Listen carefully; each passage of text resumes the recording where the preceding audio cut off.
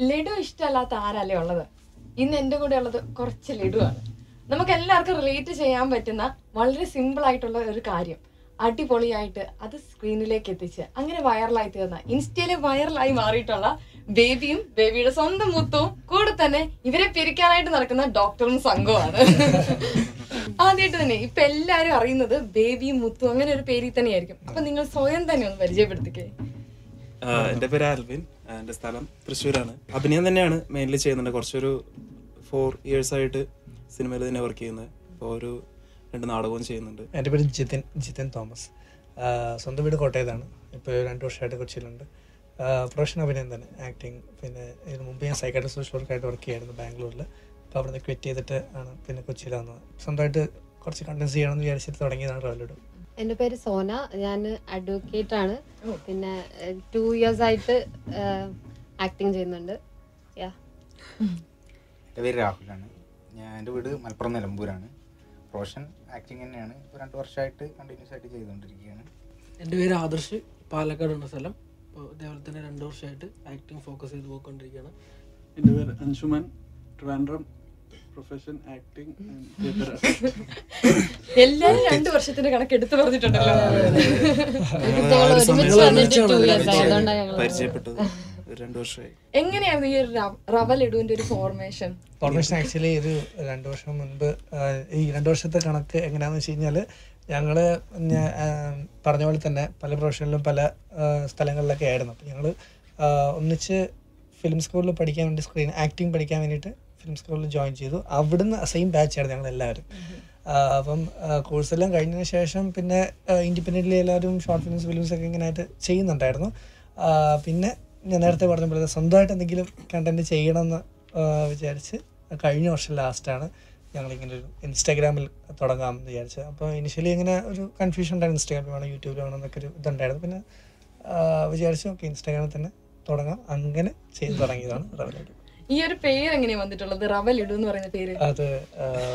അത് സ്റ്റോറി അപ്പൊ സ്റ്റോറി പറട്ടെ സ്റ്റോറിയാണ് വൻ സ്റ്റോറി എപ്പോഴും സ്റ്റോറി നമ്മൾ നാട്ടിലൊക്കെ ഫ്രണ്ട്സൊക്കെ ആയിട്ട് സംസാരിക്കുന്ന ഒരു ഇതാണ്. അപ്പോൾ നമ്മൾ പെങ്ങട്ടയിലൊക്കെ പോകാൻ പ്ലാൻ ചെയ്താൽ പറയും നിന്റെ വണ്ടി ഒന്ന് എനിക്ക് തരണം പറയും. ഏ വണ്ടി തരാൻ പറ്റൂല. എന്റെ ഒരു തേങ്ങയിലെ വണ്ടി. നമ്മളറിയില്ല എന്റെ ഒരു സ്വർണക്കട്ട. അങ്ങനെ പറഞ്ഞ ഒരു സംഭവമാണത്.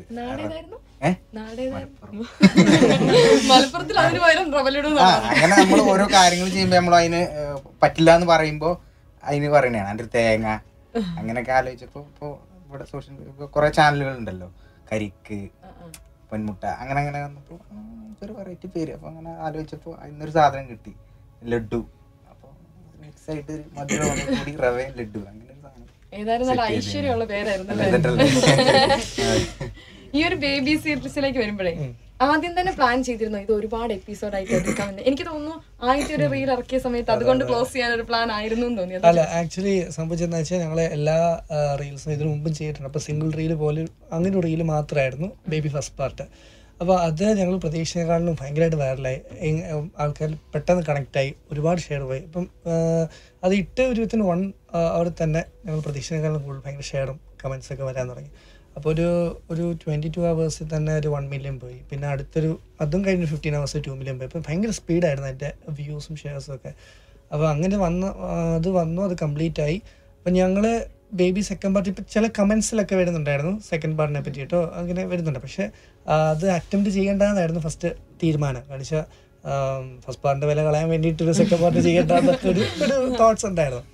പിന്നീട് ഒരു മൂന്നാഴ്ച ഫസ്റ്റ് പാർട്ട് ഇടയ്ക്ക് മൂന്നാഴ്ച കഴിഞ്ഞപ്പോൾ എനിക്കിങ്ങനെ ഒരു ഒരു ആശയം വന്നു. ഒരു വേറൊരു സ്റ്റൈലിലൊരു സാധനം. ഇതേ ക്യാരക്ടേഴ്സ് ഒരുപാട് ഒരുപാട് പേര് ഈ ക്യാരക്ടേഴ്സിനെ കണക്ട് ചെയ്തെന്ന് മനസ്സിലായപ്പോൾ എനിക്ക് തോന്നി സെക്കൻഡ് പാർട്ട് ഒരു വേറൊരു സ്റ്റൈലിൽ ഒന്ന് ചെയ്ത് നോക്കിയാൽ എങ്ങനെ. ആഴ്ച സെക്കൻഡ് പാർട്ട് വരുന്നു എന്ന് പറയുന്ന സമയത്ത് ഒരു തമാശയായിരിക്കും ആൾക്കാരെ എക്സ്പെക്റ്റ് ചെയ്യുക അപ്പോൾ ഒരു മിക്സ്ഡ് ഇമോഷൻ ആയിട്ടൊരു സംഭവം ചെയ്ത് നോക്കി എങ്ങനെയാണെന്നൊരു ഐഡിയ അപ്പം ഞാൻ അതും ഈ പറയുന്ന സമയത്ത് എല്ലാവർക്കും ഒരു ഡൗട്ട് ഉണ്ടായിരുന്നു. ഇത് ഞാൻ പറഞ്ഞു സെക്കൻഡ് പാർട്ട് നമുക്ക് ചെയ്ത് നോക്കിയാലും. നമുക്ക് എല്ലാവർക്കും ഡൗട്ട് ഉണ്ടായിരുന്നു. വർക്ക് ആവും ഇല്ലയോ ഫസ്റ്റ് പാർട്ടിന് വില പോകുമോ എന്നൊക്കെ പക്ഷേ ഞാൻ കണ്ടന്റ് പറഞ്ഞപ്പോൾ ആശയം പറഞ്ഞപ്പോൾ ഇവർക്ക് ഇഷ്ടപ്പെട്ടു. അങ്ങനെ ചെയ്ത് നോക്കാമെന്ന് പറഞ്ഞിട്ട് സെക്കൻഡ് ഇട്ടു. പിന്നെ സെക്കൻഡ് ഒരു കഥയായിട്ടാണ് നമ്മൾ കൊണ്ടുവന്നത്. അതുകൊണ്ട് ആ കഥ എൻഡ് ചെയ്യാൻ ഒരു സമയം വേണമല്ലോ. അപ്പോൾ ഈ റീൽ റീൽസിൽ ഒരു പ്രശ്നം എന്ന് വെച്ചാൽ ഒന്നര മിനിറ്റ് ഡ്യൂറേഷൻ ഉള്ളൂ. അപ്പോൾ നമുക്ക് കഥ അങ്ങനെ അങ്ങനെ പറഞ്ഞു പോകാൻ പറ്റുള്ളൂ? അങ്ങനെ ചെറിയൊരു കഥ ആണത് സംഭവം. പക്ഷെ റീൽ സീരീസ് ആയതുകൊണ്ട് അത് മൊത്തം ഒരു എട്ട് എപ്പിസോഡായി അങ്ങനെയാണ്. ഇത് നിങ്ങൾ ആദ്യത്തെ ഒരു എപ്പിസോഡ് ഇട്ടിരുന്നല്ലോ. അപ്പൊ തന്നെ നിങ്ങളുടെ അക്കൗണ്ട് കയറി സ്റ്റോക്ക് ചെയ്ത ഒരാളാണ് ഞാൻ. ആ സമയത്ത് നോക്കിയപ്പോ ഒരു അഞ്ഞൂറ് എണ്ണൂറ് ടൈപ്പ് ഫോളോവേഴ്സ് അല്ലേ ഉണ്ടായിരുന്നുള്ളൂ. ഈ ഒരു ബേബി സീരീസ് വന്നത് നിങ്ങളുടെ ഒരു ഭയങ്കര ലക്ക് ഫാക്ടർ ഉണ്ടല്ലോ.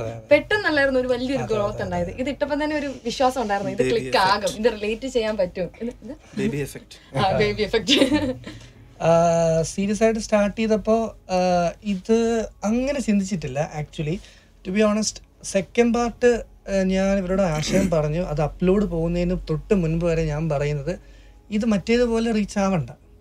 പക്ഷെ നമ്മുടെ സാറ്റിസ്ഫാക്ഷന് വേണ്ടിയിട്ടൊന്ന് മാറി ചെയ്താൽ എങ്ങനെ ഇരിക്കുമെന്ന് അത് നമ്മളെല്ലാവരും ഒരു ആർട്ട് ഇഷ്ടപ്പെടുന്നതല്ല അപ്പോൾ മാ ഒരു സംഗതി എപ്പോഴും ഒരേ സാധനം ചെയ്യാതെ ഒന്ന് ഒരു ഒരു ഇതേ ക്യാരക്ടർ ഒരു സ്റ്റൈലിൽ പിടിച്ചാൽ എങ്ങനെ ഇരിക്കും നമുക്ക് നോക്കാം.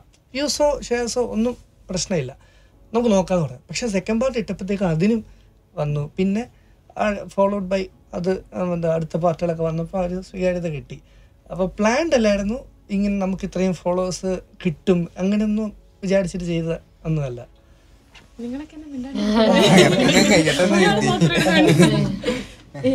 ഇപ്പൊ ഈ ആക്ടിങ്ങിനെ സ്നേഹിക്കുന്ന എല്ലാരും ആക്ടിങ്ങിനെ സ്നേഹിക്കുന്നവരാണല്ലോ.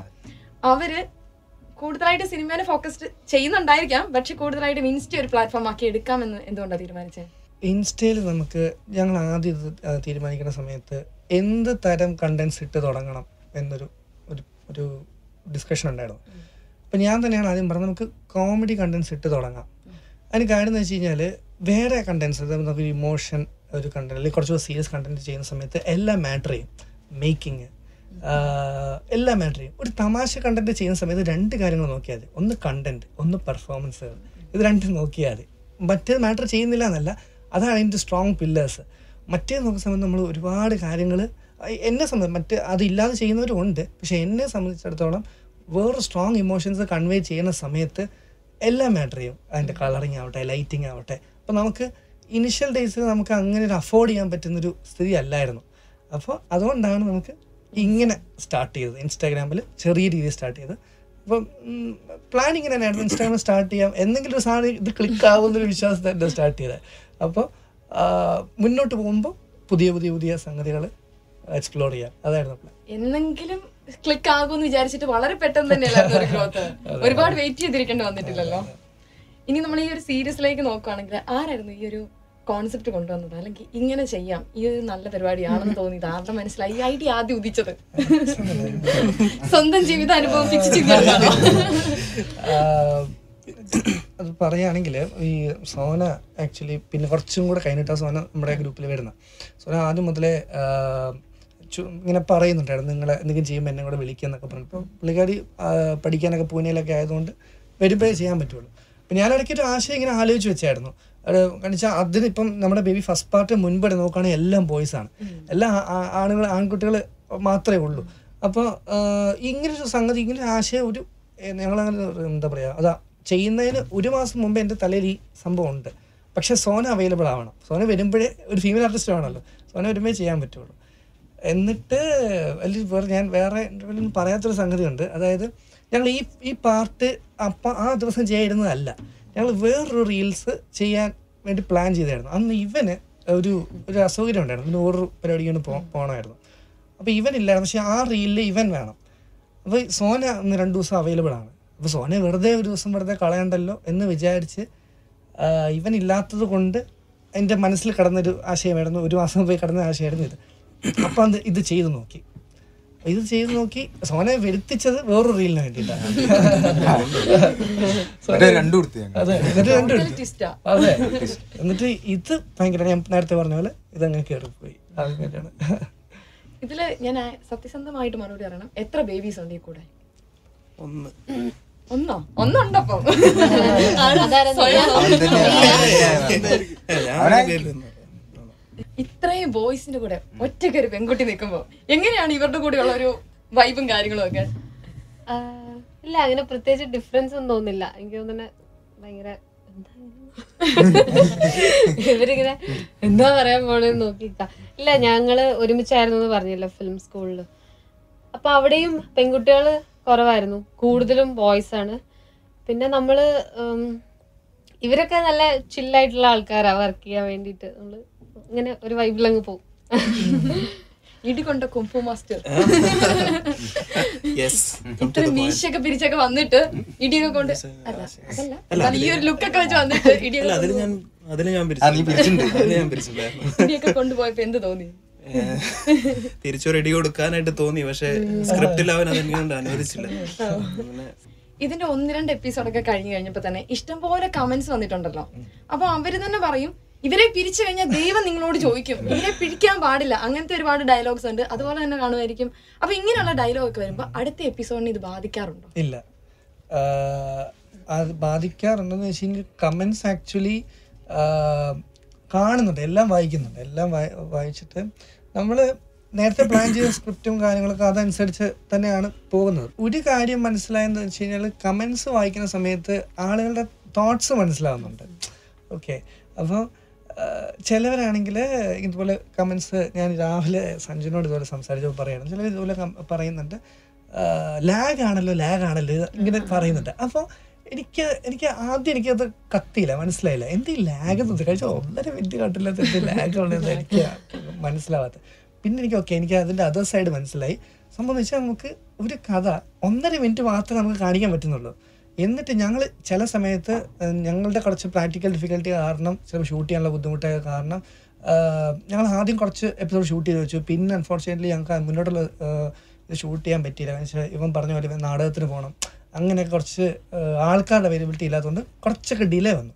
അപ്പോൾ മൊത്തത്തിൽ നോക്കുന്ന സമയത്ത് എന്താ പറ്റുന്നത് വെച്ച് കഴിഞ്ഞാൽ ഒന്നര മിനിറ്റ് എപ്പിസോഡ് അത് ഒരു ഞായറാഴ്ച കിട്ടു എന്നിട്ട് അടുത്ത എപ്പിസോഡ് കാണണമെങ്കിൽ ചിലപ്പോൾ ഒരാഴ്ചയും കൂടെ കഴിഞ്ഞിട്ടായിരിക്കും അപ്ലോഡ് ചെയ്യുന്നത്. അപ്പോൾ ഈ ഡ്യൂറേഷൻ ഉണ്ടല്ലോ. ഈ ഒരു ഒന്നര മിനിറ്റ് കഥ മാത്രമേ കാണുന്നുള്ളൂ. പിന്നെ ഇവർ അടുത്ത് കാണണമെങ്കിൽ പിന്നെ വെയിറ്റ് ചെയ്യണം. അപ്പോൾ എനിക്ക് പിന്നെ കമൻസിൽ വായിച്ചപ്പോൾ എനിക്ക് മനസ്സിലായി. ഓക്കെ ഇതാണ് ലാഗ് മൊത്തത്തിൽ ഒരു കഥ മുന്നോട്ട് പോകുന്നില്ലല്ലോ. അപ്പോൾ ഒന്നര മിനിറ്റ് മാത്രം കാണുന്നു. പിന്നെ പിന്നെ അതുകൊണ്ട് തന്നെ ഞാൻ പിന്നെ കമൻസ് വായിച്ചു എനിക്ക് ആ ഒരു ഐഡിയ മനസ്സിലായതുകൊണ്ട് അവസാനത്തെ മൂന്ന് എപ്പിസോഡുകൾ അടുപ്പിച്ചടുപ്പിച്ചിട്ട് ഒരു വെള്ളിയാഴ്ച ഒരു ശനിയാഴ്ച ഒരു ഞായറാഴ്ച അടുപ്പിച്ചിട്ട്. അപ്പം ഒരു ഫ്ലോയിൽ അല്ലെങ്കിൽ ഫ്ലോ ചിലപ്പോൾ നഷ്ടമാവുന്ന പോലെയും സംഭവിക്കും. ഞാൻ ഉദ്ദേശിച്ചത് ആദ്യം ഈ എപ്പിസോഡുകളൊക്കെ എഴുതി വെച്ചപ്പം ലാസ്റ്റ് ഇപ്പൊ ഇവർ രണ്ടുപേരും വീണ്ടും ഒന്നിച്ചു വന്നല്ലോ. അതെ. എനിക്ക് കണ്ടപ്പം തോന്നിയിരുന്നു ഇവർ പിരിയാൻ ചാൻസ് ഉണ്ടെന്ന് ചില സമയത്തൊക്കെ തോന്നിയിരുന്നു. അപ്പം കമന്റ്സിനെ അത് ബാധിച്ചിട്ടുണ്ടോ എന്ന് ചോദിക്കുക കമന്റ്സ് ആൾക്കാരുടെ ഒരു വികാരം എന്ന് പറയുന്നത് ഇവർ ഒന്നിച്ച് ജീവിക്കണം എന്നുള്ളതാണെന്ന്. അതുകൊണ്ട് പിന്നെ സ്ക്രിപ്റ്റിൽ മാറ്റം വരുത്തി ഇല്ല ഞാൻ അത് ആദ്യം പറഞ്ഞ സ്ക്രിപ്റ്റ് ഞങ്ങൾ എങ്ങനെ ഡിസൈഡ് ചെയ്തോ അങ്ങനെ തന്നെ പോയിട്ടുള്ളത് അത് ഇങ്ങനെ തന്നെ ആയിരുന്നു. ഞാൻ ആദ്യമേ ഇവരുടെ ആശയം പറയുന്ന സമയത്ത് എനിക്ക് തോന്നുന്നു സെക്കൻഡ് പാർട്ട് ഇവരോട് പറഞ്ഞിട്ട് സെക്കൻഡ് പാർട്ടായിരുന്നു ആദ്യം പിന്നെ സീരിയസ് ആയിട്ട് തുടങ്ങിയപ്പോൾ സെക്കൻഡ് പാർട്ട് ആദ്യം പറഞ്ഞു. പിന്നെ മൂന്ന് മുതൽ അങ്ങോട്ടുള്ളത് ആദ്യമേ ഞാൻ പറഞ്ഞു വെച്ചിട്ടുണ്ടായിരുന്നു. ഇങ്ങനെ പോയി ഇങ്ങനെ പോയി ഇങ്ങനെ പോയി ഇങ്ങനെ എത്തും എന്നുള്ളത് നേരത്തെ പറഞ്ഞു വെച്ചിട്ടുണ്ടായിരുന്നു. അതിൽ മാറ്റം വരുത്തിയിട്ടേ ഇല്ല. അതിങ്ങനെ ഇങ്ങനെ തന്നെയായിരുന്നു നേരത്തെ പ്ലാൻ ചെയ്തത്. ഇതിപ്പോ നിങ്ങൾ പ്രൊഫഷണലി പല ഏരിയാസിൽ നിൽക്കുന്ന ആൾക്കാരാ. നിങ്ങൾ എല്ലാരും എന്തുകൊണ്ട് ആക്ടിങ് എന്നൊരു മേഖലയിലേക്ക് നോക്കി നിൽക്കുന്നു?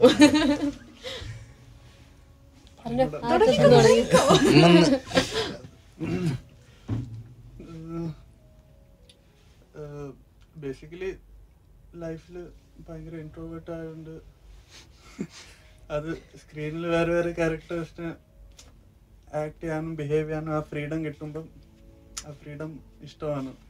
ആ ഫ്രീഡം റിയൽ ലൈഫിൽ കിട്ടാതെ പോകുമ്പോൾ സിനിമയിലേക്ക് ഫേസ് ചെയ്യും. സിനിമ അത് തരും വളരെയധികം ഇൻട്രോവേർട്ട് ആയതുകൊണ്ടാണ് ആ മൂലയ്ക്ക് പോയി നിൽക്കുന്നത്. അല്ല ഞാൻ ഒരുപാട് സിനിമകൾ കാണായിരുന്നു ചെറുപ്പം ഇപ്പോഴും. അപ്പോൾ അത് കണ്ട് കണ്ട് അതിനോടൊരു ഇഷ്ടം എന്നെ അങ്ങനെ കാണണം എന്നുള്ളൊരു ആഗ്രഹം വന്നിട്ട് അങ്ങനെയാണ് ആക്ടിങ് തിരഞ്ഞെടുക്കുന്നത്. ഡോക്ടർ. ഞാൻ സത്യത്തിൽ എനിക്ക് ആൾക്കാരെ ഭയങ്കരമായിട്ട് ഒബ്സർവ് ചെയ്യാൻ ഭയങ്കര ഇഷ്ടമാണ് അവരെ അവരെ വോയിസും അല്ലെങ്കിൽ അവരെ ഒരു ശൈലി ഉണ്ടാവുമല്ലോ സംസാരിക്കുന്നത് അതൊക്കെ ഞാൻ ചെയ്യാൻ ശ്രമിക്കും. കണ്ടുപഠിക്കും. അപ്പോൾ ഞാൻ നാട്ടുമ്പുറത്താണ് അപ്പോൾ അവിടെയുള്ള പല ആൾക്കാരെ ഞാൻ അങ്ങനെ ചെയ്യും. അപ്പോൾ വീട്ടിലുള്ളവരൊക്കെ പറയുന്നു അതേപോലെ ഉണ്ട് ചെയ്യണതൊക്കെ അതേപോലെ ഉണ്ട്. അപ്പോൾ സ്കൂ സ്കൂളിൽ പഠിക്കുന്ന സമയത്തൊക്കെ നാടകങ്ങളൊക്കെ ചെയ്യാറുണ്ട്. പിന്നെ എങ്ങനെയൊക്കെയോ കറങ്ങി തിരിഞ്ഞ് ഇത് കയറി ഉള്ളിൽ കയറി പിന്നെ സിനിമയൊക്കെ കാണുമ്പോൾ നമ്മൾ തിയേറ്ററിലൊക്കെ പോയി കാണുമ്പോൾ ഹീറോയൊക്കെ ഇങ്ങനെ നിറഞ്ഞ കയ്യടികളോടെ കാണല്ലേ? അപ്പോൾ ഒരു നിമിഷം നമ്മൾ ചിന്തിക്കും ഞാൻ ആണെങ്കിൽ അത് എനിക്ക് കിട്ടുന്നതാണ് ആ കൈയടി അങ്ങനെയൊക്കെ അങ്ങനെയൊക്കെ കേറി ഉള്ളിൽ കയറി പറ്റിയത്. പിന്നെ സാഹചര്യങ്ങളൊക്കെ ഒത്തു വന്നപ്പോൾ നമ്മൾ അതിക്ക് ഇറങ്ങി. എനിക്കും അതെ ഈ സങ്കല്പത്തിൽ ജീവിക്കുക ഇമാജിനേഷനിൽ അങ്ങനെ അങ്ങനെ നമ്മൾ ഞാൻ സിംഗിൾ ചൈൽഡ് ആണ്. അപ്പോൾ അങ്ങനെ എനിക്ക് ഒരുപാട് ഫ്രണ്ട്സ് ഒന്നും ഉണ്ടായിരുന്നില്ല. ഭയങ്കര ഡിറ്റാച്ച്ഡ് ആയിരുന്നു. അപ്പം എന്റെ ഏറ്റവും വലിയ ഈ പുറം ലോകമായിട്ട് കണക്ട് ചെയ്യാനുള്ള മീഡിയം എന്ന് പറയുന്നത് സിനിമയാണ് ഒരുപാട് സിനിമകൾ കണ്ടിട്ടുണ്ട്. അപ്പോൾ അതുകൊണ്ട് തന്നെ നമ്മളല്ലാത്ത ഒരാളായി മാറുക നമ്മുടെ ബോഡി ഒരു ടൂളായിട്ട് യൂസ് ചെയ്യുക ഇമാജിനേഷനിൽ നമ്മൾ വേറൊരാളാവുന്നു സങ്കല്പത്തിൽ. സോ ആ ഒരു ട്രാൻസ് ഉണ്ടല്ലോ. ഇപ്പം ഇപ്പൊ ഞാൻ ഞാനായിട്ട് സംസാരിക്കുന്നു. പക്ഷെ എനിക്ക് ഇപ്പം ഈ morning nine to five job ചെയ്യാൻ ഇഷ്ടമില്ല എന്ന് പറയുന്ന ആൾക്കാരുണ്ടല്ലോ. സോ അത് എനിക്ക് തോന്നണ ഈ ആർട്ടിസ്റ്റുകൾ എപ്പോഴും ഇമാജിനേഷനിൽ ജീവിക്കാൻ ആഗ്രഹിക്കുന്നവരാണ്. അവർക്ക് ചിലപ്പം അവരെ ഇഷ്ടമല്ലെങ്കിലും അവർ അവരെ ഒരു മീഡിയമായിട്ട് യൂസ് ചെയ്ത് മറ്റുള്ള ആളുകളുമായിട്ട് കണക്ട് ചെയ്യുന്നു. സോ യാ ആ ഒരു പ്രോസസ്സ് ഭയങ്കര ഇൻട്രസ്റ്റിംഗ് ആണ്. അപ്പൊ അഡ്വക്കേറ്റിന്റെ ബോഡി ടൂളായി മാറുമായിരുന്നു. സിനിമയിലേക്ക് സിനിമയിലേക്ക് വരണമെന്നുള്ള തീരുമാനം കുറേ വർഷമായിട്ടുണ്ട്. അത് കോളേജിൽ പഠിക്കുന്ന മുതലേ ഉണ്ട്. അഭിനയിക്കാൻ അറിയാമോ ഇല്ലയോ എന്നുള്ള ഒരു സംശയം ത്രൂ ഔട്ട് ഉണ്ടായിരുന്നു ആ കാലഘട്ടം കോളേജ് പഠിക്കുന്ന സമയത്ത്. അപ്പോൾ എവിടെ നിന്ന് എങ്ങനെ അവസരം നമുക്ക് എന്താ പറയുക നമ്മുടെ ഫാമിലിയിലാണെങ്കിലും ഫ്രണ്ട്സ് സർക്കിളിലാണെങ്കിലും വിദൂരത്ത് പോലും ഒരു ഫിലിം ബന്ധമുള്ള ആരുമില്ല അപ്പോൾ നമുക്ക് എന്താ പറയുക ആദ്യം മുതലേ നമുക്ക് നമ്മൾ തന്നെ അതിനുള്ളത് കണ്ടെത്തണം. അങ്ങനെ മുന്നോട്ട് പോയി ഒരു ഷോർട്ട് ഫിലിമിലൊക്കെ അഭിനയിച്ച് തുടങ്ങി. അപ്പം കുറച്ചങ്ങോട്ട് പോയ സമയത്ത് ഓക്കെ നമ്മളെ കൊണ്ട് ചെയ്യണം ചെയ്യാൻ പറ്റുന്ന ജോലിയാണിതെന്ന് മനസ്സിലായി. പക്ഷെ ഒരുപാട് എഫേർട്ട് ഇടണം. അപ്പോൾ എനിക്ക് ഈ പറയുന്ന പോലെ ഈ കല ഈ സ്റ്റാർട്ടിങ്ങിൽ കലയോടുള്ള സ്നേഹം ഫിലിമിനോടുള്ള സ്നേഹം ടു ബി ഓണസ്റ്റ് എനിക്ക് അങ്ങനെ ഒരു സാധനം ഇല്ല. പക്ഷേ ഈ കലേനെ പറ്റി അല്ലെങ്കിൽ ഫിലിമിനെ പറ്റി കൂടുതൽ മനസ്സിലാക്കാൻ വേണ്ടി നമ്മൾ എഫേർട്ട് ഇടുമല്ലോ നമ്മൾ നമ്മൾ ചെയ്യേണ്ട മേഖലയിൽ നമ്മൾ നല്ല രീതിയിൽ എത്താൻ വേണ്ടി എഫേർട്ട് ഇടും. പക്ഷെ ആ എഫേർട്ടിന്റെ ആ പ്രോസസ്സിലാണ് എനിക്ക് കലയോടുള്ള സ്നേഹവും സിനിമയോടുള്ള സ്നേഹവും ഇതെല്ലാം കൂടി വരുന്നത്. അല്ല തുടക്കം ഞാൻ അങ്ങനെ ഒരു വ്യക്തിയല്ലായിരുന്നു. പക്ഷെ മുന്നോട്ട് പോകും തോറും എഫേർട്ട് ഇട്ട് എഫേർട്ട് ഇട്ട് എഫേർട്ട് ഇട്ടാണ് ബെറ്ററായി വരുന്നത്. പിന്നെ അപ്പാർട്ട് ഫ്രം ആക്ടിങ് ഇപ്പം ഞാനിപ്പോൾ ഈ കൂട്ടത്തിൽ ഇപ്പോൾ ഡയറക്ഷൻ ചെയ്യുന്നു റൈറ്റിംഗ് ചെയ്യുന്നു. അതിനെപ്പറ്റി പറയുകയാണെങ്കിൽ ഈ പറയുന്ന പോലെ നേരത്തെ വിതുരത്ത് പോലും ഒരാളില്ല നമുക്ക് ചെയ്യാൻ വേണ്ടിയിട്ട്. അപ്പോൾ ഞാൻ ഫസ്റ്റ് ഷോർട്ട് ഫിലിമൊക്കെ ചെയ്യുന്ന സമയത്ത് എന്റെ കൂടെ ഒരാളുണ്ട്. അപ്പോൾ ഒരു ഡയറക്ടറുണ്ട് അപ്പോൾ അവൻ ഡയറക്റ്റ് ചെയ്യും അവൻ ക്യാമറ ചെയ്യും അവൻ എഡിറ്റ് ചെയ്യും. ഞാൻ അഭിനയിച്ചാൽ മതി. പക്ഷെ ഞങ്ങൾക്ക് കഥ എഴുതാൻ ആരുമില്ല. അങ്ങനെ എഴുതി തുടങ്ങിയതാണ് ഞാൻ. അപ്പോൾ സ്ക്രിപ്റ്റ് റൈറ്റർ ഇല്ലാത്തത് കൊണ്ട് എഴുതി തുടങ്ങിയതാണ് ഞാൻ. പിന്നെ രണ്ടാമത് അവന് ന്യൂസിലാൻഡിൽ അവന്റെ പേര് അരവിന്ദ് അവൻ അവന് ന്യൂസിലാൻഡിൽ പോകേണ്ട വന്നു. അപ്പോൾ ഈ ഡയറക്റ്റ് ചെയ്യാനും എഡിറ്റ് ചെയ്യാനും ക്യാമറ ചെയ്യാനും ആളില്ലാതായി. അപ്പോൾ ഇതെല്ലാം നെസസിറ്റിയുടെ ഭാഗമാണ്. അതായത് നമുക്കത് ചെയ്തു തരാൻ ആളില്ലാത്തത് കൊണ്ട് പഠിച്ച് വന്നതാണ്. അപ്പോൾ ഡയറക്റ്റ് ചെയ്യാൻ ആളില്ലാത്തതുകൊണ്ട് ഡയറക്ടർ ആയതാണ് അപ്പോൾ എഡിറ്റ് ചെയ്യാൻ ആളില്ലാത്തതുകൊണ്ട് എഡിറ്റർ ആയതാണ്. അതാണ് സത്യം. എല്ലാം ഞാൻ തന്നെ ചെയ്യും. സൂക്ഷിച്ചോട്ടെ നാളെ നിങ്ങൾ വന്നില്ലെങ്കിൽ അതും ചെയ്യും. ഞാൻ ചെറുപ്പം മുതൽ ഈ സിനിമകളൊക്കെ നല്ലോണം കാണും. ഇംഗ്ലീഷ് മൂവീസും അങ്ങനെ മലയാളവും അങ്ങനെ മൂവീസ് ഒരുപാട് നല്ലോണം കാണും. ടി വിയിൽ സിനിമകൾ കാണുന്നുണ്ടെങ്കിലും സിനിമയിൽ വർക്ക് ചെയ്യാൻ പറ്റും അഭിനയിക്കാൻ പറ്റും ആ ക്രൂവിന്റെ കൂടെ നിൽക്കാൻ പറ്റും എന്നുള്ളൊരു തോട്ടൊന്നും ഉണ്ടായിരുന്നില്ല മനസ്സിൽ ആ ഒരു ചിന്തയുണ്ടായിരുന്നില്ല. പിന്നെ അതിന്റെ ഇടയ്ക്കാണ് ബാംഗ്ലൂർ ഞാനൊരു പാർക്കൂർ ഫ്രീ റണ്ണിങ് എന്ന് പറഞ്ഞിട്ടൊരു ഫ്ലിപ്സും കാര്യങ്ങളൊക്കെ ആയിട്ടുള്ള ഒരു സാധനമുണ്ട് അപ്പോൾ അത് പഠിക്കാൻ വേണ്ടി പോയിട്ടുണ്ടായിരുന്നു. അപ്പൊ അവിടുത്തെ അപ്പൊ അത്. ചെയ്ത് കാണിക്കണോ? ചെയ്ത് കാണിക്കുമോ അപ്പോൾ അത് പഠിക്കാൻ വേണ്ടി ബാംഗ്ലൂർ പോയിട്ടുണ്ടായിരുന്നു. അപ്പൊ അവിടുത്തെ പഠിച്ചിരുന്ന ഇൻസ്റ്റിറ്റ്യൂഷനിലെ ഓണർ ഇതിന്റെ ഒരു സിനിമയും കാര്യങ്ങളൊക്കെ ഫൈറ്റ് മാസ്റ്ററാണ് അപ്പോൾ ആ പുള്ളിക്കാരൻ വഴി ഞാൻ അങ്ങനെ അങ്ങനെയാണ് ഞാൻ സിനിമയിലേക്ക് കയറുന്നത് പിന്നെ അഭിനയം കാര്യങ്ങളൊക്കെ ഭയങ്കര ഇഷ്ടമാണ് ഈ ഒരു നമ്മുടെ ലൈഫ് അല്ലാണ്ട് വേറൊരു ലൈഫ് നമ്മളിലേക്ക് എടുത്ത് ചെയ്യാന്ന് പറയുന്നത് നമുക്കിപ്പോൾ നോർമലി പുറത്തിറങ്ങി അങ്ങനെയൊന്നും സിനിമയിൽ കാണിക്കുന്ന പോലെ ഒന്നും കാണിക്കാൻ പറ്റില്ല. പക്ഷെ സിനിമ ഒരു മീഡിയം ആ ഒരു മീഡിയത്തിൽ നമ്മുടെ ഇമാജിനേഷൻ നമുക്ക് മാക്സിമം വർക്ക് ചെയ്യാൻ പറ്റും. അതാണ് അത് എനിക്കൊരു ഭയങ്കര ക്രൈസാണ് നമ്മുടെ നമ്മുടെ ആ ഒരു ലിമിറ്റ് പൊട്ടിച്ച് വേറെ കുറേ കാര്യങ്ങൾ ചെയ്യാൻ ഔട്ട്സൈഡ് ദ ബോക്സ് ചെയ്യാനായിട്ട് ഒരുപാട് സഹായിച്ചത് ഈ ആക്ടിങ്ങും മൂവീസൊക്കെ ലൈഫ് കൂടുതലും പഠിച്ചത് ഈ അഭിനയത്തിലേക്ക് വന്നേ പിന്നെ. പുതിയ പുതിയ ആൾക്കാരെ എടുക്കുന്നുണ്ടോ? ടീം കുറച്ചുകൂടെ വിപുലപ്പെടുത്താൻ പ്ലാൻസ് ഒക്കെ ഉണ്ടോ. നമ്മൾ ഇപ്പം ഉള്ള ആൾക്കാർ തന്നെയായിരിക്കും ഇതിന്റെ പ്രധാന ആളുകൾ കൂടുതൽ ആളുകൾ പുതിയ ആൾക്കാരുടെ വർക്ക് ചെയ്യണമെന്ന് ആഗ്രഹമുണ്ട്. കാരണം വെച്ചാൽ പുതിയ കണ്ടന്റ് റൈറ്റേഴ്സ് അവരുടെ ഒക്കെ വർക്ക് ചെയ്യാൻ താല്പര്യമുണ്ട്. പക്ഷെ മേ ബി ലൈക്ക് കുറച്ചും കൂടെ മുന്നോട്ട് പോകുന്ന സമയത്ത് നമുക്ക് കൂടുതൽ ആൾക്കാരെ വേണ്ടി വരും. അപ്പോഴത്തേക്ക് ഇതുപോലെ തമാശ രീതിയിലുള്ള കാര്യങ്ങൾ തന്നെ മുന്നോട്ട് പോകാനാണോ താല്പര്യം? അത് കുറച്ചുകൂടി സീരിയസ് ആയിട്ടുള്ള ടോപ്പിക്സ് ഒക്കെ എടുക്കാൻ താല്പര്യമുണ്ട്? ഉണ്ട് ഉണ്ട്. താല്പര്യമുണ്ട്. അപ്പോൾ ഇതുപോലെ ഞാൻ നേരത്തെ പറഞ്ഞ പോലെ ഒരു ഇനിഷ്യൽ ഒരു പരിപാടിയായിരുന്നു ഈ കുറച്ചുകൂടി ലൈറ്റർ ആയിട്ടുള്ള സബ്ജക്റ്റ് ചെയ്യാന്നുള്ളത്. അപ്പോൾ മുന്നോട്ട് പോകും തോറും വേറെ വേറെ ജോണറിലുള്ളത് ചെയ്യണമെന്ന് വെച്ചാൽ നമുക്ക് ഇനി ഇനി ഞാൻ മനസ്സിലാക്കിയത് സംഭവിച്ചാൽ സീരീസ് എന്ന് പറയുന്ന സംഗതി റീൽ സീരീസ് ഇച്ചിരി ബുദ്ധിമുട്ടുണ്ട് ഈ ഒന്നര മിനിറ്റിൽ ചെയ്യാന്ന് പറയുമ്പോഴത്തേക്ക് അപ്പോൾ ഇനി അങ്ങനെ ഒരു സീരിയസ് പരിപാടിയിലേക്ക് പോകുന്ന സമയത്ത് അത് യൂട്യൂബ് കണ്ടന്റ് ആയിട്ടായിരിക്കും ചെയ്യുക. ഈ സീരീസ് നിന്ന് ഒഴിവാക്കി അല്ലേ? അതിനെതിരെ പ്രതിഷേധിക്കണം എന്ന് തോന്നിയില്ലേ? ഇല്ല പ്രതിഷേധിക്കണമെന്നൊന്നുമില്ല. രണ്ട് ഇതിൽ മാത്രമേ ഞാൻ ഇല്ലാന്നുള്ളൂ. മൂന്നാമത്തെ തൊട്ടിട്ട് ഞാൻ ഉണ്ടായിരുന്നു ഷൂട്ട് ചെയ്യാനും കാര്യങ്ങളായിട്ട്. ക്യാമറയുടെ പുറകാണേലും എല്ലാത്തിനും ഉണ്ടായിരുന്നു. രണ്ട് എപ്പിസോഡ് മാത്രം ടെക്നിക്കൽ സൈഡ് ഞങ്ങളുടെ കൂടെ നല്ല ഫുൾ സപ്പോർട്ട് സപ്പോർട്ട് ആരാ? ആരാ? അല്ല എനിക്ക് ഒന്ന് ഒന്നുകൂടി കുറച്ചുകൂടി താല്പര്യം മേക്കിംഗ് തന്നെയാണ്. മേക്കിംഗ് കാര്യങ്ങൾ തന്നെയാണ് എനിക്ക് ഒന്നുകൂടി ഇഷ്ടം ഞാൻ അതിന്റെതായ രീതിയിൽ പോകും ഇതിന്റെ ആദ്യത്തെ എപ്പിസോഡിന്റെ ഒക്കെ സമയം എവിടെ പോയിരിക്കായിരുന്നു ഞാൻ ഇവിടെ ഇല്ലായിരുന്നു ശരിക്കും പറഞ്ഞാൽ ഞാൻ അത് കഴിഞ്ഞപ്പോഴാണ് വൈശാഖിനെ വിളിച്ചപ്പോഴാണ് വൈശാഖ് പറഞ്ഞത് ഒന്ന് എടുത്ത് നോക്ക് എന്നൊക്കെ പറഞ്ഞിട്ട് ഞാൻ എടുത്ത് നോക്കുമ്പോ ഭയങ്കര റീച്ച് ആയിക്കൊണ്ടിരിക്കുന്നു അപ്പൊ ശരിക്കും വിഷമം വന്നു അല്ലേ? മിസ്സായി തോന്നിയായിരുന്നു. പിന്നെ എന്റെ ഡോക്ടറെ. എന്തിനാ ഇത്രയും നല്ല കപ്പിൾസിനെ പിരിക്കാനായിട്ട് നടക്കണത്? വീണ്ടൊരു കഥയാണല്ലേ? അത് വേറൊരു കഥയാണ്. അത് വേറൊരു കഥയാണ്. അത് ഡയറക്ടറെ അവനല്ലേ? ഈ ഡോക്ടറിന്റെ സൗണ്ടിലേക്ക് വരുമ്പോഴത്തേനും അതും വളരെയധികം രസമുള്ള ഒരു സൗണ്ടാണ് എനിക്കത് ആദ്യം കണ്ടപ്പോഴില്ലേ മറ്റേ ഫാമിലി മാൻ കാർട്ടൂൺ ഇല്ലേ? അതിന്റെ അത് പീറ്റർ അതിന്റെ സൗണ്ടുമായിട്ട് എനിക്ക് തോന്നി അങ്ങനെ ഇൻസ്പയർ അല്ല എനിക്ക് തോന്നി ഇൻസ്പയർ വല്ലതും ആയിരുന്നോ? അല്ല അല്ല അല്ല അത് ആ- സൗണ്ട് കറക്റ്റ് ആയിട്ട് ചെയ്യും. ഇവരാണ് അതിന്റെ ആൾ. പീറ്ററിന്റെ ആൾ. ഇടയ്ക്ക് അങ്ങോട്ടും ഇങ്ങോട്ടും സംസാരിക്കില്ല പീറ്ററിന്റെ സൗണ്ട് പക്ഷെ അത് ഡോക്ടർ ക്യാരക്ടറിന് അത് റെഫറൻസ് ചെയ്തിട്ടില്ല. അത് ഇതിൽ ഇതിൽ തുടങ്ങുമ്പോ ഫസ്റ്റ് ഷോട്ട് എന്റേതാ എടുക്കുന്നത്. ഡോക്ടറതാണ് ആദ്യം എടുക്കുന്നത്. അപ്പൊ ഞാൻ എപ്പോഴും എല്ലാ ക്യാരക്ടറും ഡിഫറെന്റ് ആയിട്ടുള്ള ഇത് കൊണ്ടുവരാൻ നോക്കും. അപ്പോ അപ്പോ പെട്ടെന്ന് ഇരുന്നപ്പോ അങ്ങനെ ഒരു വോയിസ് ചെയ്ത അല്ല അങ്ങനെ പിടിച്ചു വെക്കാറ് നേരത്തെ പ്ലാൻ അപ്പൊ നേരത്തെ പ്ലാൻ ഒന്നുമില്ലായിരുന്നു ആ ഷോട്ട് എടുക്കാൻ അപ്പൊ സ്പോട്ടിൽ ഒന്ന് ഡിഫറെന്റ് ചെയ്യാറെന്ന് അങ്ങനെ വന്നതാണ്. അതിപ്പോ നാട്ടിലൊരാളുണ്ട്. ഇതേപോലെ സൗണ്ടിൽ ഒരാളുണ്ട്. അപ്പൊ പെട്ടെന്ന് അങ്ങനെ അത് ഓർമ്മ വന്ന് അങ്ങനെ എടുത്തതാണിത്. അവിടെ നിന്നാണ് ഇൻസ്പയർ എല്ലാ മലപ്പുറത്തെ എല്ലാ ആൾക്കാരെയും കൊണ്ടുവന്നിട്ടുണ്ട്. ഇനി കുറെ ആൾക്കാരെ എത്തിക്കാനുണ്ട്. ലാസ്റ്റ് ഇപ്പൊ എനിക്ക് നാട്ടിൽ ചെന്ന് ഇറങ്ങാൻ പറ്റുമെന്നാണ് എനിക്ക് അറിയാറുള്ളത് ഏതായാലും അത് സൂപ്പർ ആയിരുന്നടാ.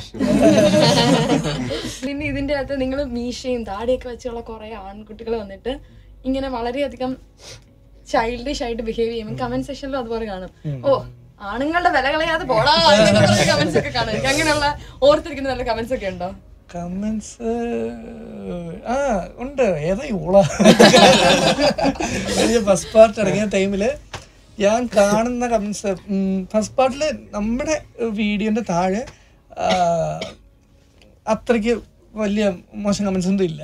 ഈ ലാസ്റ്റ് പാർട്ട് ഉണ്ടല്ലോ ഈ ബേബി ആയിട്ടുള്ള കാര്യം അത് അങ്ങനെ എടുത്തിട്ട് ഈ ട്രോൾ കുറെ പോയിട്ടുണ്ട് കുറേ പേജിൽ പോയിട്ടുണ്ട്.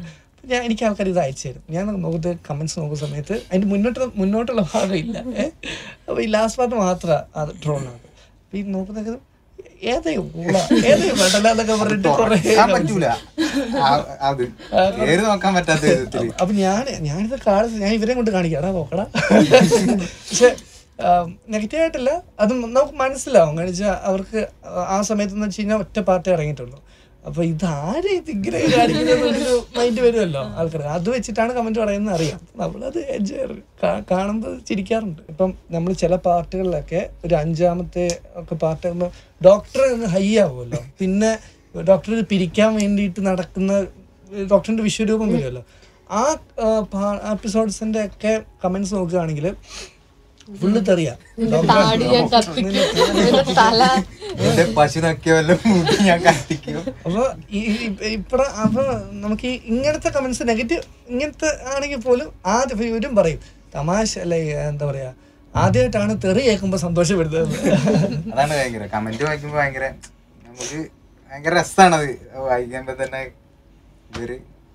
തമാശയായിട്ടാണ് പറയണത്. കാര്യമായിട്ട് പറയണതാണെങ്കിലും ഉള്ളു തമാശയാണ്. സീരിയസ് ആയിട്ട് പറയണെങ്കിൽ നമ്മളത് തമാശയായിട്ട് എടുക്കും. ഇല്ല അതില്ലേ ആൾക്കാർ ഒരുപാട് എൻഗേജ് ചെയ്യുന്നുണ്ട്. അവർ സമയം കൊടുത്ത് അത് എഴുതി അതിന്റെ ഇടയിൽ കുറെ പേര് പിന്നെ അതവിടെ ചർച്ചയായി. രസമല്ലേ അത് വായിക്കാൻ? അത് തന്നെ അവർ തന്നെ വേറെ കഥകൾ ഉണ്ടാക്കിക്കൊണ്ടിരിക്കും തന്നെ അടുത്തതിനുള്ള സ്ക്രിപ്റ്റ് ഉണ്ടാക്കാം നിങ്ങൾക്ക് പേഴ്സണലി മെസ്സേജസ് ഒക്കെ വന്ന് കാണുമല്ലോ കുറെ.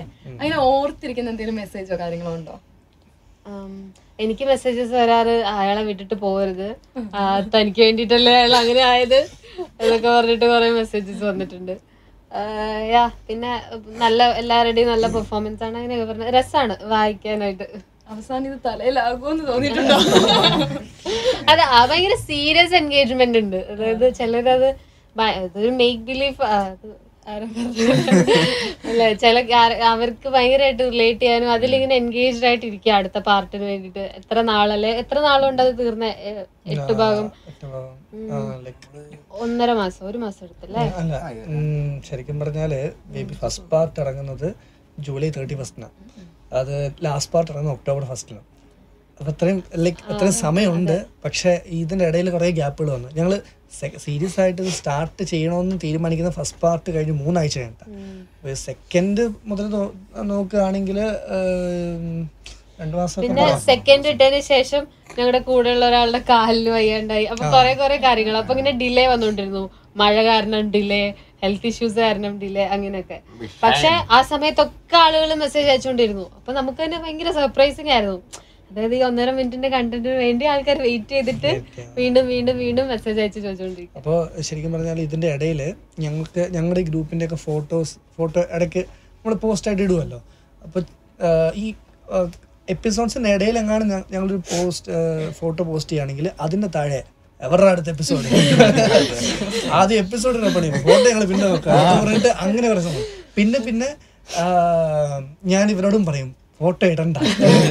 ഫോട്ടോ എപ്പിസോഡ് ഇട്ട് തീർത്തതിന് ശേഷം ഇനി എന്ത് പോസ്റ്റ് പോയാൽ മതി. വേറെ ഒന്നും പ്രഹസന. ഇൻസ്പയർഡ് ആയിട്ടുള്ള വല്ല കോണ്ടന്റ് ക്രിയേറ്റേഴ്സ് ഉണ്ടോ? നമ്മളിപ്പോൾ ഇൻസ്റ്റാഗ്രാമിൽ നോക്കുകയാണെങ്കിൽ ഇപ്പോൾ ഒരു വ്യക്തി ചെയ്യുന്ന കോണ്ടന്റ് പേജ് പ്രൊഫൈലുകൾ കാണുമല്ലോ. അപ്പോൾ അതല്ലാതെ എനിക്ക് അതിലും ഉപരിയായിട്ട് ഈ ഒരു ടീമിനെ ഒന്നിച്ചു കൊണ്ടുപോകുന്ന കരിക്കിനെ പോലുള്ള ആ ടീം അതിൽ എനിക്ക് ഒരാൾ ചെയ്യുന്നൊരു പരിപാടിക്ക് പിന്നെ അയാളുടെ ഐഡിയയിൽ വരുന്നത് അത് ചെയ്ത് ചെയ്ത് പോയാൽ മതി. പക്ഷേ ഒരു ടീമിനെ ഒന്നിച്ച് കൊണ്ടുപോകുന്നതിനുള്ള എഫേർട്ട് വലുതാണ് അപ്പോൾ രണ്ടായിരത്തി പതിനെട്ടിൽ അവർ കരിക്ക് ഇത് സ്റ്റാർട്ട് ചെയ്യുന്ന ടൈമിൽ അവർക്ക് ലുക്ക് ഫോർവേഡ് ചെയ്യാൻ വേണ്ടി അല്ലെങ്കിൽ അവർക്ക് മാതൃകയാക്കാൻ വേറെ ടീമില്ല അപ്പം നമുക്കിപ്പോൾ നോക്കുന്ന സമയത്ത് ഒരുപാട് പേരുണ്ട് മാതൃകയാക്കാൻ വേണ്ടിയിട്ട്. അപ്പോൾ അത് അവർ രണ്ടായിരത്തി പതിനെട്ട് സ്റ്റാർട്ട് ചെയ്ത് ഈ ഇതുവരെ കൺസിസ്റ്റന്റ് ആയിട്ട് ചെയ്യുന്നു എന്നുള്ളത് ഒരു ചെറിയൊരു കാര്യമല്ല. അതൊരു വലിയൊരു ടീം എഫേർട്ടുണ്ട് അപ്പോൾ കണ്ടന്റ് ക്രിയേറ്റേഴ്സ് ഇപ്പം ഞാൻ നോക്കുകയാണെങ്കിൽ ആ ടീം എഫേർട്ടിന് ആണ് റെസ്പെക്റ്റ് ചെയ്യുന്നത് ഇൻസ്പയർ ചെയ്യുന്നത്. അപ്പോൾ കരിക്കാണ് നമുക്ക് അല്ലെ എനിക്ക് പേഴ്സണലി ഇൻസ്പയർഡ് ആയിട്ടുള്ളൊരു ടീം നമുക്കും അങ്ങനെ തന്നെ അല്ലേ? ഇപ്പൊ പുറത്തേക്ക് ഇറങ്ങുമ്പോഴത്തേനും ബേബി അല്ലേ മുത്തു അല്ലേ ഡോക്ടർ അല്ലേ എന്നൊക്കെ ചോദിച്ച് അല്ലെങ്കിൽ ബാക്കി ഫ്രണ്ട്സ് അല്ലേ എന്നൊക്കെ ചോദിച്ച് ആൾക്കാരൊക്കെ വരാറുണ്ടോ? കൂടാറുണ്ടോ? സംസാരിക്കാറുണ്ടോ? സംസാരിക്കാറുണ്ട്. കൂടാറുണ്ട് അങ്ങനെ. അതിപ്പം അത് ഓരോ എപ്പിസോഡ് കഴിയും തോറും അത് കൂടിക്കൂടി വരികയായിരുന്നു. രണ്ടാമത്തെ എപ്പിസോഡ് ഇട്ടതിന് ശേഷം കുറച്ച് പേര് അവിടെ അത്രയൊന്നും ഇല്ലെങ്കിലും എന്നാലും അവിടെ ഇവിടെ നിന്നൊക്കെ ചോദിക്കാറുണ്ടായിരുന്നു. പിന്നെ എപ്പിസോഡുകൾ വന്നു വന്നു ലാസ്റ്റ് എപ്പിസോഡ് ഇപ്പോൾ ചെയ്തു തീർത്തു. ഇപ്പൊ ആൾക്കാരുടെ തിരിച്ചറിയുന്ന എണ്ണം വളരെ കൂടി. അങ്ങനെ ഓർത്തിരിക്കുന്ന വല്ല രസകരമായിട്ടുള്ള മൊമെന്റ്സ് ഉണ്ടോ? ഇപ്പം ഞാനും സോനയും കൂടെ ഇപ്പം ഞങ്ങൾ രണ്ടുപേരും ഒന്നിച്ച് പോവുകയാണെങ്കിൽ കഴിഞ്ഞ ഒരു മൂന്നാൽ ദിവസം മുമ്പാണെങ്കിൽ ഞങ്ങളിപ്പം ഇവിടെ എറണാകുളത്ത് തന്നെ പത്തടിപ്പാലത്ത് ഇങ്ങനെ നടക്കുകയായിരുന്നു. അപ്പം നടക്കുന്ന ടൈമിൽ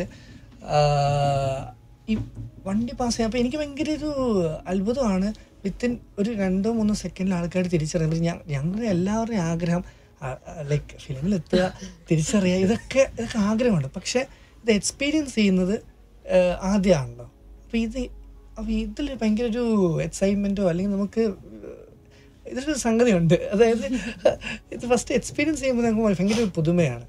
ഒരു ഒരു രണ്ട് സെക്കൻഡ് ബൈക്കിൽ പോകുന്ന ഒരാൾ ഹേ ബേബി എന്ന് വിളിച്ചിട്ട് അങ്ങ് പോകും. അപ്പം ഞാൻ എന്റെ തോട്ട് എന്ന് വെച്ചാൽ ഇയാളിന് ജസ്റ്റ് നോക്കിയല്ലേ ഉള്ളൂ. ഈ രണ്ട് സെക്കൻഡിൽ ഏതൊക്കെ എങ്ങനെ മനസ്സിലാവുന്നത് എന്നുള്ളൊരു ചിന്തയുണ്ട്. അപ്പം ഞങ്ങൾ രണ്ടുപേരും ഞാൻ നേരത്തെ പറഞ്ഞ പോലെ പത്തടിപ്പാലത്ത് ഇങ്ങനെ നടന്നു പോകുന്ന സമയത്ത് ഈ ഞങ്ങൾ റോഡിൽ കൂടെ നടക്കുമ്പോൾ ആൾക്കാർ ഇങ്ങനെ ബൈക്ക് പാസ് ചെയ്യുന്നുണ്ട് കാറ് പാസ് ചെയ്യുന്നവരൊക്കെ ഇങ്ങനെ പേര് വിളിച്ചിട്ട് പോകുന്നു. വണ്ടിക്ക് ഉള്ളിൽ നിന്ന് വിളിച്ചിട്ട് വണ്ടിക്കുള്ളിൽ അങ്ങനെ വിളിച്ചിട്ട് പോകുന്നതൊക്കെ ഭയങ്കര ഒരു പുതുമയുള്ളൊരു കാര്യമാണ് നമുക്ക് നമ്മളെ സംബന്ധിച്ചിടത്തോളം. ഈ റീൽ കൊണ്ട് വീട്ടിലൊക്കെ കാണിച്ച സമയത്ത് വീട്ടുകാരുടെ ഒരു എക്സ്പ്രഷനും അല്ലെങ്കിൽ അവരുടെ ഒരു മറുപടിയൊക്കെ എങ്ങനെയായിരുന്നു? വീട്ടുകാര് നല്ലതായിരുന്നു. കൂടുതലും ചേച്ചിമാരൊക്കെ ഇത് കാണൽ. അമ്മ അച്ഛൻ കാണാറുണ്ടല്ല കൊണ്ട് കാണിച്ചു കൊടുക്കണം അങ്ങനെ കാണാറുള്ളൂ അമ്മ അമ്മയ്ക്ക് അയച്ചു കൊടുത്താൽ അമ്മ കാണും. അപ്പൊ ഒന്നും പറയില്ല. ചിലപ്പോൾ വിളിക്കുമ്പോഴാവും പറയാം ഇൻസ്റ്റാഗ്രാം ഒന്നും യൂസ് ചെയ്യാറില്ല അപ്പം വിളിക്കുമ്പോൾ അടിപൊളിയായിരുന്നു. മറ്റേ പിന്നെ ജിതിന് ആ ബേബി അത് കൊള്ളായിരുന്നു അടിപൊളിയായിരുന്നു. പിന്നെ വൈറലായതിനു ശേഷം അമ്മ ജോലി ചെയ്യുന്നിടത്തൊക്കെ അവരൊക്കെ അവരെ മക്കളെ കാണിച്ചു കൊടുത്തിട്ട് കണ്ടായിരുന്നു. അപ്പോൾ വലിയ ഇപ്പൊ നല്ല അടിപൊളിയാണ് സംഭവമാണ് എല്ലാരും ആക്ടിങ് സ്വപ്നം കണ്ട് ജീവിക്കുന്ന ആൾക്കാരുണ്ടല്ലോ. അപ്പം ഇതിന് ശേഷം ഏതെങ്കിലും ആക്ടേഴ്സ് വിളിക്കുകയോ അല്ലെങ്കിൽ സിനിമാ ഫീൽഡിൽ നിന്നുള്ള ഏതെങ്കിലും ഓഫറുകൾ വരുമോ ഒക്കെ ചെയ്തിട്ടുണ്ടായിരുന്നോ? ബേബി ഫസ്റ്റ് പാർട്ട് അപ്ലോഡ് ചെയ്തതിന് ശേഷം ഒരു ടീം ഇതുപോലെ അപ്രോച്ച് ചെയ്തായിരുന്നു. അപ്പോൾ അതിന്റെ ഷൂട്ടിംഗ് ഇപ്പോൾ നടന്നുകൊണ്ടിരിക്കുക അപ്പോൾ ഞാനും ഉണ്ട് ഡോക്ടറും ഉണ്ട്. ഞങ്ങൾ രണ്ടുപേരുണ്ട് ആ ഫിലിമിൽ അത് അതല്ലാതെ പിന്നെ വെൽ നോൺ ആയിട്ടുള്ളൊരു പേഴ്സണാലിറ്റി ജോജു സാറാണ്. സാർ വിളിച്ചത്. അപ്പോൾ കണ്ടു മീറ്റ് ചെയ്തു സംസാരിച്ചു അങ്ങനെ. ഈ ക്യാരക്ടർ വിട്ടൊഴിയാൻ കുറച്ച് ബുദ്ധിമുട്ടിയിരുന്നു? ഇല്ലില്ല. എനിക്ക് വിട്ടൊഴിയുന്നതിനെക്കാട്ടിലും എനിക്ക് ലൈക്ക് എന്റെ സ്റ്റാർട്ടിങ് ഉണ്ടല്ലോ. ഒരു ഗ്യാപ്പിന് ശേഷം ആയിരിക്കുമല്ലോ ഇത് തുടങ്ങുന്ന എപ്പിസോഡുകൾ അപ്പം ഇതിന്റെ സ്റ്റാർട്ടായിരിക്കും എനിക്ക് ബുദ്ധിമുട്ട്. വിട്ടൊഴിയുന്ന പ്രശ്നമൊന്നുമില്ല. സ്റ്റാർട്ട് എനിക്ക് ചില സമയത്ത് ഞാൻ ഷൂട്ട് ചെയ്യാൻ തുടങ്ങുന്ന ചിലപ്പോൾ സ്റ്റാർട്ടിങ് ഒരു ഫസ്റ്റ് ഷോട്ടിലൊക്കെ ഇവർ പറയും. ഇല്ലടാ അതിൽ എന്തൊരു വ്യത്യാസമുണ്ട്? എങ്ങനെയല്ല ഇങ്ങനെ കുറച്ചുകൊണ്ടല്ല? അപ്പം ഞാൻ ഓർത്തെടുത്ത് ഞാൻ നേരത്തെ എപ്പിസോഡ് ഒന്ന് കണ്ടു നോക്കും. എന്തെങ്കിലും സംഭവം. പിന്നെ പിന്നെ അത് രണ്ടാമത്തെ എപ്പിസോഡിലൊക്കെ എന്തോ അങ്ങനെ ഒരു ഒരു സ്റ്റാർട്ട് കയറാനുള്ളൊരു ബുദ്ധിമുട്ട് വന്നുള്ളൂ. അതിന്റെ അടുത്ത ദിവസങ്ങൾ പിന്നെയുള്ള ബുദ്ധിമുട്ടെന്ന് വെച്ച് കഴിഞ്ഞാൽ ഡബ് ചെയ്യുന്ന സമയത്ത് ആ ശബ്ദം കറക്റ്റായിട്ട് കിട്ടാൻ വേണ്ടിയിട്ട് കുറച്ച് ചിലപ്പോൾ എന്തെങ്കിലും ജലദോഷം എന്തെങ്കിലുമൊക്കെ ഉണ്ടെങ്കിൽ കിട്ടില്ല. അപ്പം അങ്ങനെ ഉള്ളത്. ഇറങ്ങി പോകേണ്ട. ഇനിയിപ്പോ ഫ്യൂച്ചർ പ്ലാൻ പരിപാടികളൊക്കെ എന്തൊക്കെയാണ്? ഫ്യൂച്ചർ പരിപാടി ഇപ്പം ഇൻസ്റ്റാഗ്രാമിൽ നമ്മളിപ്പോൾ ചെയ്തുകൊണ്ടിരിക്കുന്ന പോലെ റീൽ സീരീസ് ഒന്ന് നോക്കിയേ ചെയ്യുള്ളൂ. കാരണം വെച്ചാൽ നേരത്തെ പറഞ്ഞ പോലെ ഒന്നര മിനിറ്റിന്റെ സംഗതി ഉള്ളതുകൊണ്ട് സീരീസ് പോലെ എന്തെങ്കിലും കഥ പ്ലാൻ ചെയ്യുകയാണെങ്കിൽ അതൊരു യൂട്യൂബ് കണ്ടന്റ് ആയിട്ടായിരിക്കും ചെയ്യുക. ഇൻസ്റ്റാഗ്രാമിൽ നേരത്തെ ചെയ്ത പോലെ സിംഗിൾ റീൽ കണ്ടന്റുകൾ അത് അങ്ങനെ പോകും. അപ്പം ഭാവി പരിപാടികളൊക്കെ അടിപൊളിയായി മാറട്ടെ. ഇനി ഒരുപാട് ഒരുപാട് വൈറൽ കണ്ടന്റ്സ് ഇറക്കാൻ പറ്റട്ടെ. Thank you thank you so much